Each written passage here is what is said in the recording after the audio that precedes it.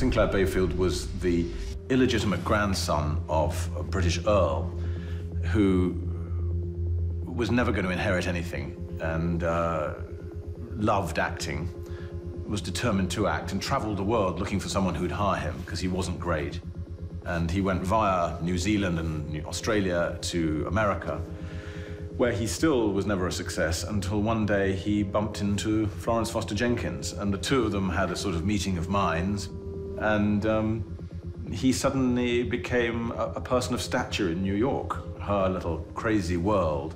He masterminded, he was the sort of master of ceremonies, and uh, he gained kudos uh, and position through that.